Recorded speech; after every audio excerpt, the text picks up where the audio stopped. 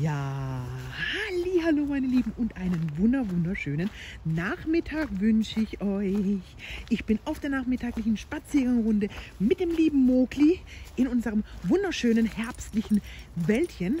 Und ja, auch heute nehme ich euch wieder mit auf diese schöne Spaziergangrunde hier bei dem ja, etwas trüben, regnerischen Wetter. So ist das im Herbst. Ne? Die Tage werden kürzer, die Nächte werden gefühlt länger und ja, es regnet viel, es ist kalt geworden. Hier ist noch kein Schnee gefallen, ja. Ich sag mal, auf der einen Seite Gott sei Dank, auf der anderen Seite finde ich einfach, es gehört irgendwo dazu, wenn es kalt wird. Also wenn es kalt ist, finde ich, sollte auch ja, Schnee liegen. Ne? Aber es ist gut, dass irgendwo noch nicht ist, weil ich glaube, die Bäume sind noch nicht ganz so weit, ähm, ja, was den Schnee angeht hier bei uns, weil man sieht überall noch Blätter an den Bäumen. Ja, so die, die restlichen Bäume sind sogar noch teilweise grün hier, wie man hier schön sehen kann. Auch hier ist noch teilweise alles grün, ja.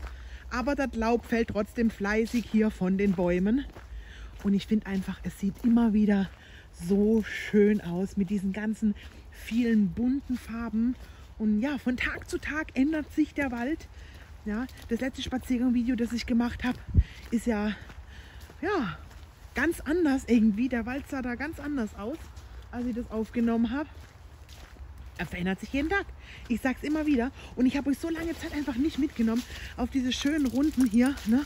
Und auch wenn es eigentlich immer die gleichen Runden sind, ja, ich oftmals immer den gleichen Sprechdurchfall habe und alles Mögliche, es ist doch immer wieder was anderes. Und man weiß irgendwo nie, ähm, ja, was, was, was, was einen so erwartet. Ne? Man weiß es einfach nicht, was einen so erwartet, egal welchen Spaziergang man macht. Ja? Und ich habe mir jetzt auch vorgenommen, ja, dass ich euch versuche, wirklich wieder ein bisschen öfter mitzunehmen auf diese Spaziergangrunden. Wenn ich Lust habe aufzunehmen, nehme ich auf, ja. Und wie gesagt, denkt immer dran, ne? die Videos nehme ich nicht auf und lade sie dann gleich hoch, sondern kommt dann manchmal zwei, drei Tage später oder ähm, je nachdem halt, wie, wie ich es halt hochlade. Und ja, ne, dann kann ich schön aufnehmen. So habe ich mir überlegt. Ich habe mir überlegt, folgendes. Ich muss von vorne anfangen. Ich muss entspannt reden. Ich muss langsamer reden. Okay. Ich habe mir so geplant. Wenn ich einfach Bock habe aufzunehmen, ja, oder die Lust und die Zeit habe, dann nehme ich einfach die Videos auf und dann lade ich die euch immer schön hoch, ja das ist, ich versuche, ja, wirklich, es ist wirklich nur ein Versuch, ja. Ich weiß nicht, wie lange ich es durchhalte, ich weiß noch nicht, wie lange ich schaffe, aber ich versuche es, dass ab jetzt ne, mindestens einmal die Woche ähm, ein schönes Spaziergang-Video kommt. Von mir und dem lieben Mogli, wie wir durch unser Wäldchen laufen, zu den Fischerteichen, mal andere Runden laufen. Ähm, ja, das, das nehme ich mir so vor, dass ich da wirklich einmal die Woche ein, ein Video mache. Wann ich natürlich diese Videos aufnehme, äh, immer Unterschied. Es kann sein, ich nehme zwei Tage hintereinander ein Video auf, ja, und äh, poste es dann, ne, und habe dann halt ein Video für, sagen wir mal, zwei Wochen, ne.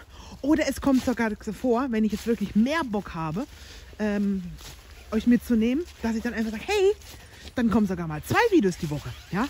Also legt euch da nicht so drauf fest, aber ich möchte euch gerne wieder einfach ein bisschen mehr mitnehmen, ein bisschen mehr an dieser wunderschönen Natur teilhaben lassen. Ja, weil ich habe es einfach vermisst. Ich hoffe, ihr natürlich auch.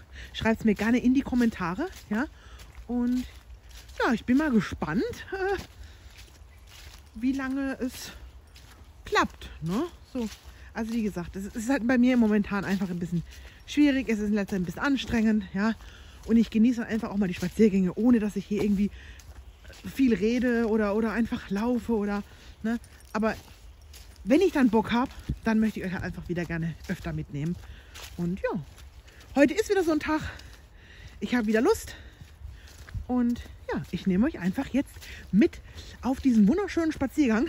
Möchte auch gar nicht immer so viel labern und reden, sondern wir genießen das und wir schauen das hier einfach mal an, wie wunder, wunderschön das doch alles wieder aussieht hier. Schaut mal, da hinten sieht man schon langsam so das Abendrot. Die Sonne ist schon langsam in Richtung hier. Ich verstecke mich wieder und komme dann erst wieder morgen früh auf der anderen Seite raus. Aber das sieht schon schön aus, oder? Ich liebe das ja. Ich finde, das hat ja was, echt was, was, was, was, was Schönes. Hat einfach immer was Wunderschönes. Wenn man jetzt hier guckt, ne, so ist es, man sieht halt richtig hier dieses, ne, hier die, die Sonne, wie sie langsam untergeht. Und wenn ich jetzt mich hier rüber drehe, ne, dann sieht man hier alles grau in grau einfach, ja. Grau in grau. Und es wird wahrscheinlich auch noch regnen. Hat die letzten Tage wieder sehr, sehr viel geregnet. Auch immer wieder dann so mal stärker und dann tröpfelt es aber wieder nur ein bisschen. Ne? Aber ich bin ja eh ein Freund von Regen. Ich liebe das ja. Vor allem, wenn man dann abends im Bett liegt ne? und man hört diese Regengeräusche. Ich kann da ja einschlafen wie ein Baby. Wie ein Baby. Ich liebe das. Ich liebe das ja so richtig. Ich mag zum Beispiel auch, wenn man dann im Zelt liegt und, das, und der, der Regen prasselt so aufs Zelt. Oh, das habe ich geliebt. Ich habe schon ewig nicht mehr gezeltet. ja. Muss ich eigentlich auch mal wieder machen. Dass ich das mal wieder angehe. Vielleicht mal nächstes Jahr oder so. Ne? Ist halt immer auch viel mit, mit ja, man muss halt auch Glück haben, dass das Wetter gut ist. Ne? Und Regen, Zelt ist zwar schön zum Anhören, aber es ist natürlich auch eine riesen, riesen Sauerei, ne? ähm, was das angeht. Mal schauen, aber so ein Campingurlaub wäre auch mal wieder was. Ne? Muss man nicht weit wegfahren. Kann schön campen gehen auf einem Campingplatz oder gibt auch so freie Flächen, wo man campen darf oder mal auf einem eigenen Grundstück. Das muss ja nicht immer weit weg sein. Ne? Ein Abenteuer ist es auf jeden Fall. Mal schauen, mal schauen, mal schauen. Das Jahr ist ja eh bald vorüber. Und dann kann man sich da spontan auch Gedanken drüber machen. Weiß nicht, habt ihr schon für nächstes Jahr was geplant? Fahrt ihr in den Urlaub? Geht ihr weg? Oder seid ihr jetzt so jemand, der sagt, ähm, ich gehe nicht viel weg, ich bin nicht viel unterwegs? Oder wie schaut das bei euch aus? Ich bin ja eher so eine heimatmäßig, ja.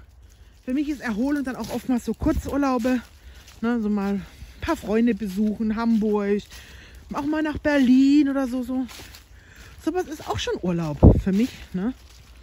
Klar würde ich gerne mal wieder irgendwo hinreisen, mal ein bisschen weiter weg. Mal zwei Wochen Griechenland oder, oder Spanien oder ja, irgendwo weiterhin, aber ja, bisher habe ich es nicht gemacht. Aber irgendwann werde ich das auch noch nachholen und machen dann bisschen reisen. Vielleicht auch mal mit meiner Freundin. Vielleicht klappt das sogar nächstes Jahr. Wer weiß. Man weiß es nicht. Ist halt immer so eine schwierige Sache, auch mit dem Urlaub. Na, man kennt's. Ich bin kinderlos. Ich habe keine Kinder und ja, ich bekomme halt schwer in den Ferien Urlaub. Meine Freundin hat zwei Kinder. Ähm, bisschen schwierig dann immer mit dem Urlaub hin und her so, ne? Weil sie muss halt im Urlaub gehen. Also in den Ferien meine ich damit natürlich äh, im Urlaub gehen, ja klar. ähm, ja, da gestaltet sich das manchmal ein bisschen als schwierig. Aber an sich sage ich mittlerweile, Leute, wir haben so geile Sommer, ja, so schön warme Sommer.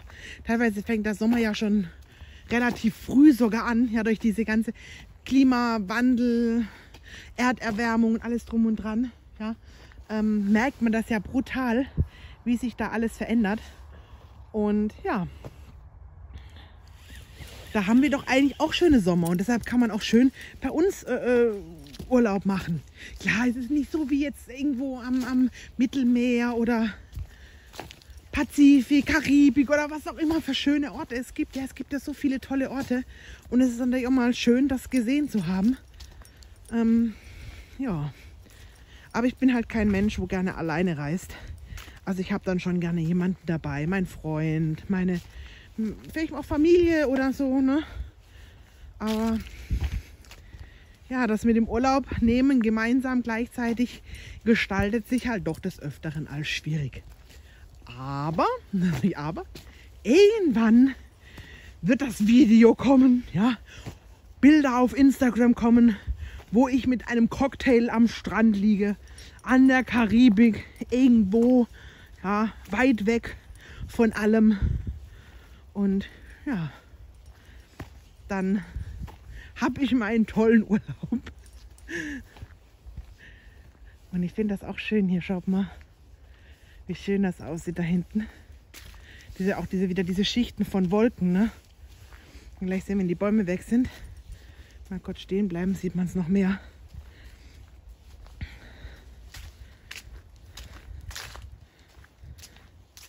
Wir haben jetzt auch wieder 16.15 Uhr oder so. Und man sieht halt, wie krass dunkel es eigentlich schon ist, ne? Um die Zeit. Das ist schon. Das ist schon Wahnsinn. Und jetzt hier kommt sie. Oh. Ich liebe dieses Geräusch, Freunde. Ich liebe dieses Geräusch, wenn man durch die Blätter läuft. Das ist so schön. Und Mowgli liebt es auch hier durch sein Wäldchen zu laufen und natürlich zu schnüffeln. Mowgli, stopp mal kurz, wir müssen hier gucken.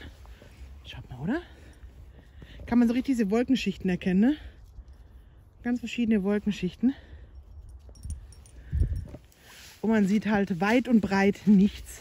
Außer Feld und Natur. Gut, ab und zu mal da hinten, so ein paar, da hinten sind Häuser. Da hinten ist auch noch ein Haus. Da halt die Straße. Man sieht die Autolichter. Aber sonst ist man hier eigentlich relativ, ja, schnell so in der Natur. Und ich sage es ja immer wieder, in jedem Video eigentlich, Freunde, es ist wichtig, dass wir diese Natur einfach schützen, ja, und dass halt jeder bei sich selber einfach anfängt. Ein bisschen bewusster zu sein, seinen Müll mitzunehmen, nicht einfach wahllos in die Natur zu schmeißen, ja. Einfach auch ein bisschen aufs Klima achten. Wie oft fahre ich Auto, ja? Kann ich auch einfach mal gewisse Wege zu Fuß gehen oder mit dem Fahrrad, ja? Also darauf einfach selber für sich ein bisschen achten. Ja? Weil das, das, macht, das macht schon viel, viel aus, wenn, wenn man selber nach sich schaut. Ne? Ich kann keine andere Person zwingen, irgendwie anders zu leben. Ja? Das muss jeder für sich selber entscheiden.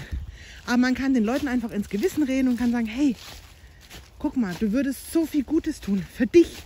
Ja, für dich und auch gleichzeitig für die Natur. Weil ich sag's nochmal, Freunde, ohne das alles hier, ohne die Bäume, die Pflanzen, die Natur, die Tiere, die dort drinnen leben, können wir Menschen nicht überleben. Ja, das ist alles so unheimlich wichtig. Man wird sagen, warum die Tiere?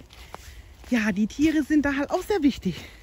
Weil die Tiere sorgen ja da dafür, dass die Samen der Pflanzen oftmals einfach auch weitergetragen werden. Weitere Strecken, ja. Die Bäume, die Samen fallen hier runter auf die Erde. Teilweise fliegen die sogar kilometerweit. Ja? Aber die Tiere sind trotzdem ein wichtiger Bestandteil dessen, um noch vieles auch weiterzutragen. Und deshalb sollten wir das halt alles ein bisschen schützen, einfach ein bisschen darauf achten. Und dann, ja, kann man noch hoffentlich sehr, sehr lange auf der Welt leben. Und wir sehen ja gerade, was halt gerade wirklich viel ist. Ne? Und oftmals, das sagen auch ganz, ganz viele, ja, uns hier betrifft das vielleicht nicht so, der Klimawandel. Aber in der Wüste, Afrika, diese ganzen Länder, ja, wo so ein bisschen weiter weg liegen, die sind halt extrem gefährdet. Ja. Das sind auch diese großen Klimagipfel und sowas, wo sie eh nie zu einem Nenner kommen. Ja. Was ich ziemlich traurig finde, weil, ja, wie soll man das sagen? Es ist halt einfach immer eine Riesendiskussion und ja, das möchte man nicht und das möchte man nicht. Ja, und das geht ja nicht und der Windpark kann nicht und das kann nicht erstellt werden und das geht ja auch nicht, weil das und das und das. Hm. Wo ich mir denke, es geht um unsere Natur, es geht um unsere Umwelt, es geht um uns Menschen. Ja, warum muss man da ewig diskutieren? Ja, es ist gut, dass es Gesetze gibt, aber manche Gesetze können so manchmal so in die Tonne treten. Ne?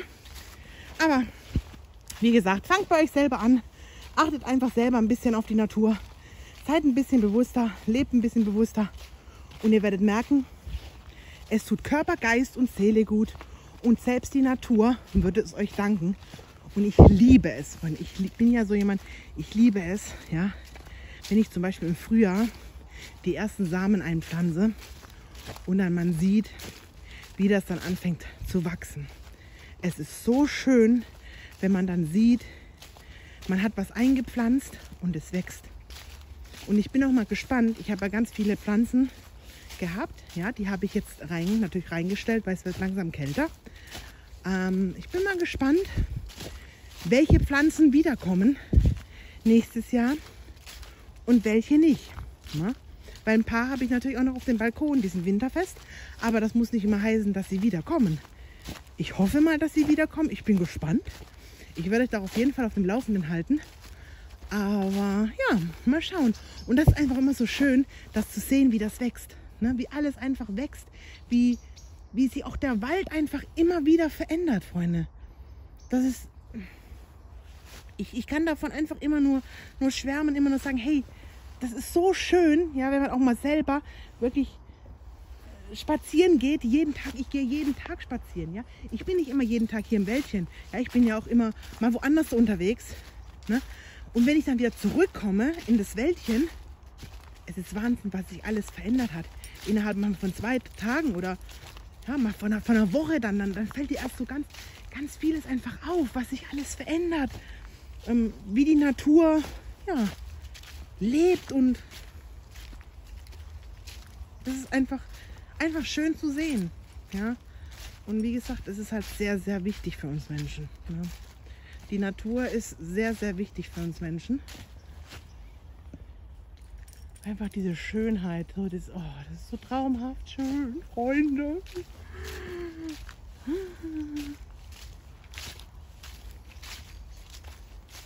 Und man kann halt, also ich für mich persönlich kann halt einfach auch einfach abschalten, wenn ich dann so spazieren bin.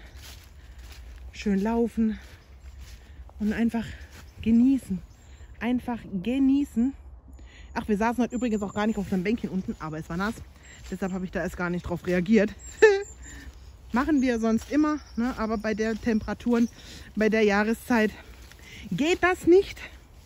Geht erst wieder, wenn es etwas wärmer geworden ist und es nicht mehr so oft regnet. Dann können wir wieder schön chillig auf unserem Bänkchen sitzen und ja, die Stille der Natur genießen Könnten wir eigentlich auch jetzt, wenn ich einfach mal den Schnabel halten würde. Aber wie hat so schön immer der liebe Eno gesagt? Dann wäre die Elli aber nicht unsere Elli, wenn sie den Schnabel halten würde.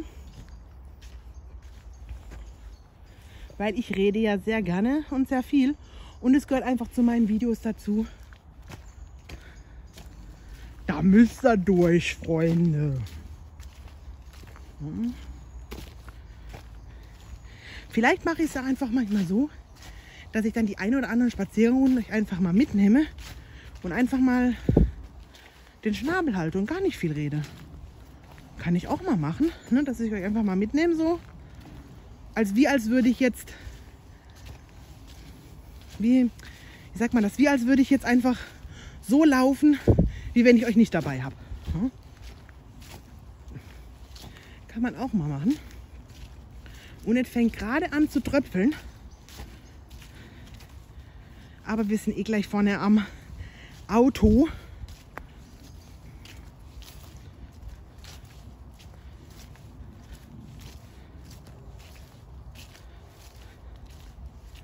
Das ist auch noch so ein Grund, warum ich halt auch nicht immer hier in unserem Wäldchen bin, weil ich dann doch manchmal auch das Auto gerne stehen lassen möchte.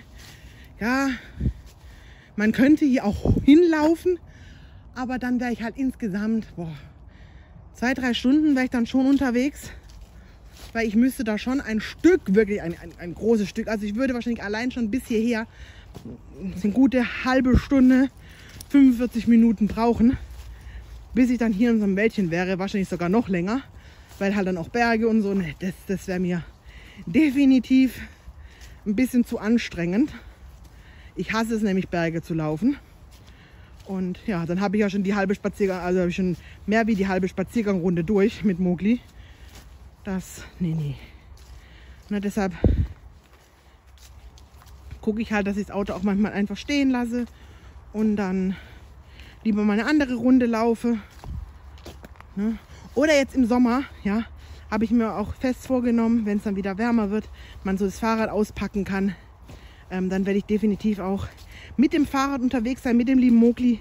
Habe extra so ein schönes Fahrradkörbchen gekauft für ihn. Und ja, dann kann man da auch schön spazieren gehen. Kann dann zwischendrin mal rauslassen, kann ein bisschen rennen, laufen. Ja, wir haben schon geübt, klappt auf jeden Fall sehr gut. Und jetzt müssen wir hier erstmal wieder, ihr seht schon, es ist ziemlich matschig der Weg. Ziemlich matschig und ekelig. Ich habe Gott sei Dank meine warmen, wasserfesten Schuhe an. Dann ist das nicht ganz so schlimm. Das Einzige, was ich jetzt mache, ist, dass ich mein Auto wieder schmutzig mache. Aber da muss man durch. In dieser Jahreszeit muss man da einfach durch, dass das Auto halt auch mal etwas dreckiger wird, wie im Sommer. Ne? Und hier sind auch Pferde gelaufen vorher.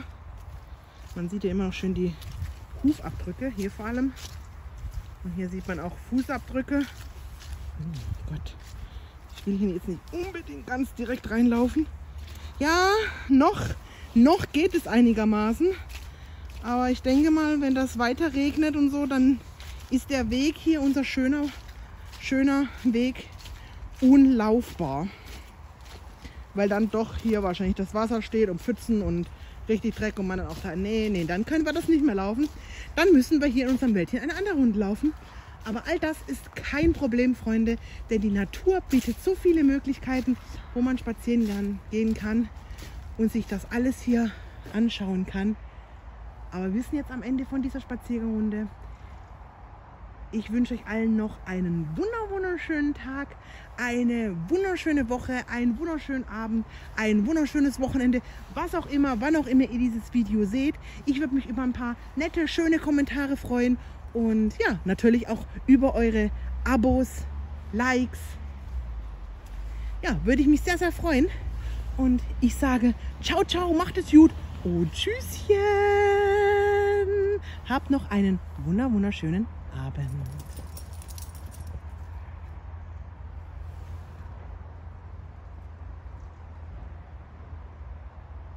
Hey Freunde, was los? Ist ihr immer noch da? Abschalten.